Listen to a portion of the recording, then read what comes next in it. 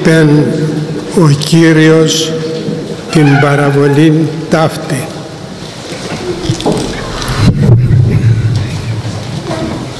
Άνθρωπος της είναι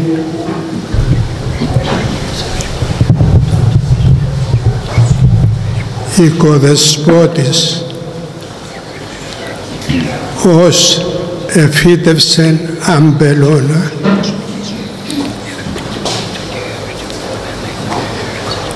και όριξεν λινών και οκοδόμησεν πύργων και έδωκεν αυτόν της γεωργής και απεδίμησε. Αδερφοί μου, η παραβολή είναι δύσκολη. Εκείνος ο οποίος δύναται να κατανοήσει είναι ελάχιστοι οι δε περισσότεροι δεν γνωρίζουν τίποτε. Παραβολή σημαίνει την οποία είπε σήμερα ο Κύριος ημών Ιησούς Χριστός σημαίνει να λέγω λόγια τα οποία αντιστοιχούν σε ένα γεγονός και με τα λόγια αυτά να παριστάνεται ενώπιον του η όλη σκηνή του έργου.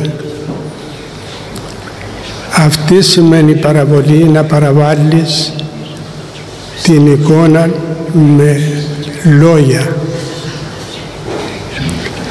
Λόγια τα οποία αντιστοιχούν στην πράξη.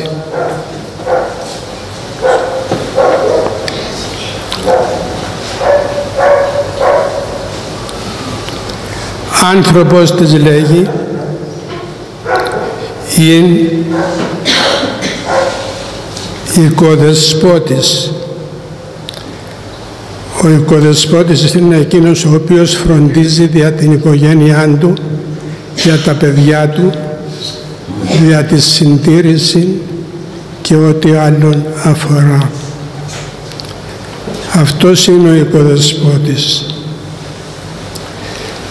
Λέγει ο Κύριος μας ότι ο άνθρωπος αυτός είναι ο οικοδεσπότης. Άνθρωπος. Ποιος είναι ο άνθρωπος; Άνθρωπος είναι ο Θεός ο Παντοδύναμος, ο οποίος εγένετο άνθρωπος για να σώσει τον άνθρωπο. Κατέβηκε από τους ουρανούς, έλαβε μορφή δούλου και έσωσε τον πλανόμενον άνθρωπο. Άνθρωπος λέγει, ο οποίος ή το οικοδεσπότης. Οικοδεσπότης ποιος είναι; Οικοδεσπότης είναι ο Θεός ο οποίος τα πάντα τα ορατά και τα όρατα είναι στην εξουσία Του και γνωρίζει τα πάντα. Αυτός είναι ο οικοδεσπότης, ο οποίος λέει εφύτευσεν αμπελώνα. Τι σημαίνει τούτο; Τούτο είναι ένα σημείο το οποίο είναι πολύ μακρό. Όταν οι Εβραίοι ήσαν υπόδουλοι στον Φαραώ, ο Κύριος μας και ο Θεός μας ήθελε να τους ελευθερώσει. Εφόσον ήθελε να τους ελευθερώσει, ο Φαραώ δεν ήθελε και τότε έστειλε πληγάς ο Θεός. Σήμερα βατράχια, αύριο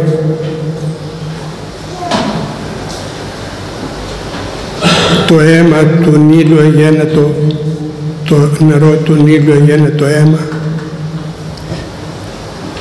Αύριο ακρίδες και εις κάθε μία πληγή ο Φαραώ καλούσε τους μάγους του και τους έλεγε τι είναι αυτό το οποίο παρουσιάζεται στην Αίγυπτο και απαντούσαν οι μάγοι δάχτυλος Θεού εστί Το τελευταίο το οποίο επέτρεψε ο Θεός ήταν η σφαγή των πρωτοτόκων τέκνων των Αιγυπτίων. Τότε ευολήθη ο Φαραώ να αφήσει εκείνον τον λαό ελεύθερο. Δύο εκατομμύρια Εβραίοι συνήχθησαν και πήραν τον δρόμο της επιστροφής. Έφτασαν όμως στην νεκρά θάλασσα και εκεί ο Μωυσής ευυσκολεύθη τόσο πολύ που απευθύνθηκε στον Θεό και του λέγει «Θεέ μου, τι να κάνω» και του λέγει ο Θεός «Ψήλωσε τη ράβδο σου που κρατάς και χτύπησε καθέτος, καθέτος το νερό». Αυτό έκανε ο Μωυσής και τότε ανοίχθησαν τα ύδατα και φάνηκε ξηρά διέλευσης και εκείνος ο λαός επέρασε μέσα από εκείνα τα δύο τα υδάτινα τείχη και έφτασε απέναντι. Πλην όμως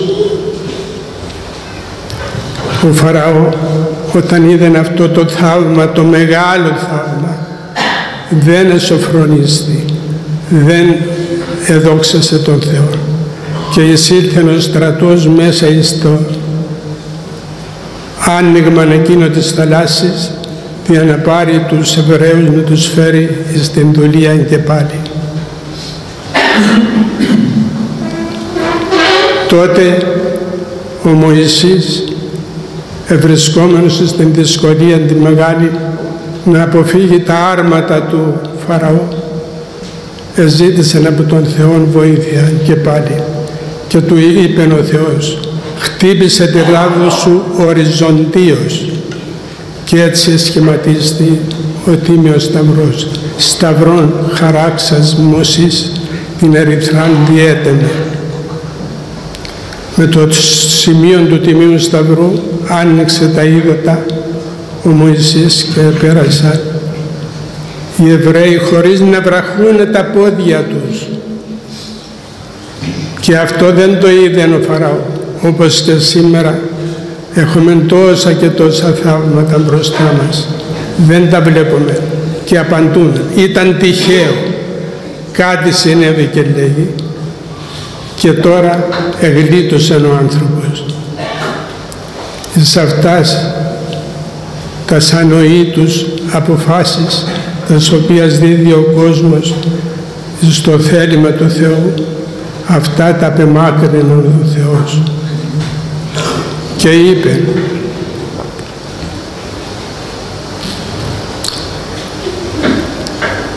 εφόσον ο άνθρωπος εκείνος εφύτευσε έναν πελώνα ήταν ο Ιουδαϊκός λαός τον οποίο επήρε από την Αίγυπτον ο Θεός και έφερε στην γη της επαγγελίας. Και εκεί λέγει στον αμπελώναν αυτόν όριξε λινών τι σημαίνει τούτο; Λινός είναι το μέρος εκείνο το οποίο έβαζαν το σταφύλι μέσα και γίνεται το κρασί. Πλην όμως εδώ δεν έχουμε σταφύλι. Εδώ στο λινόν έχουμε αίμα τράγων και μόσχων και σποδών δαμάλεως. Μέσα σε εκείνον των λινών έπεφτε όλο το αίμα των ζώων τα οποία θυσίαζαν στον Θεό και οι ιερείς εράντιζαν τον λαό με το αίμα εκείνο για να συγχωρεθούν οι αμαρτίες του. Τούτο το απεδίωξε ο Θεός. Όταν κατέβηκε από τους ουρανούς και σταυρώθηκε, έχισε το δικό του αίμα και έτσι εξαφανίζεται σαν θυσίες των ζώων. Μετά από αυτό λέγει ο Θεός ότι ο κοδόμησεν πύργο.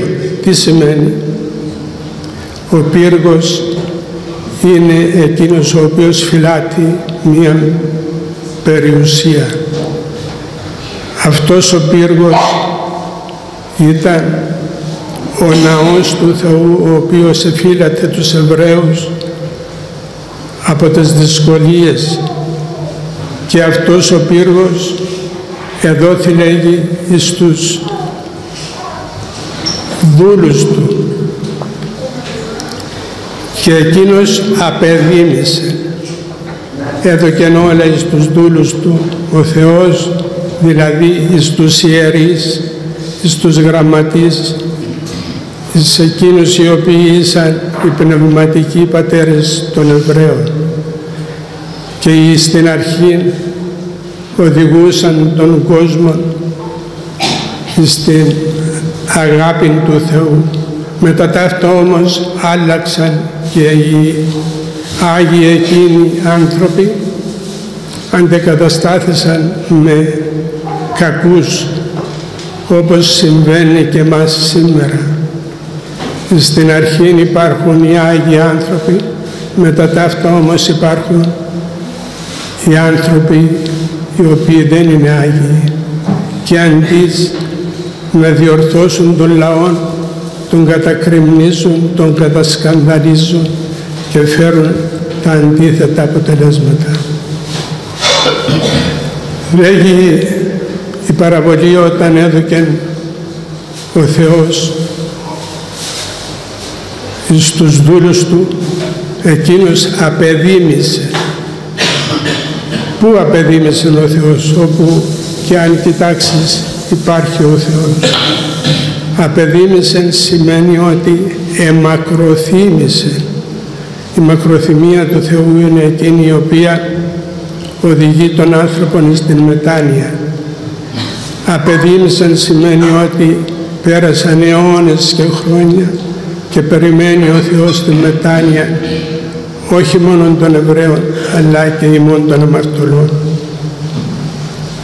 Και έστειλε λέγει τους δούλους αυτού να πάρουν τους καρπούς του αμπελώνος και άλλον μεν έδιραν, άλλον δε ελιθοβόλησαν, άλλον δε απέχτηναν.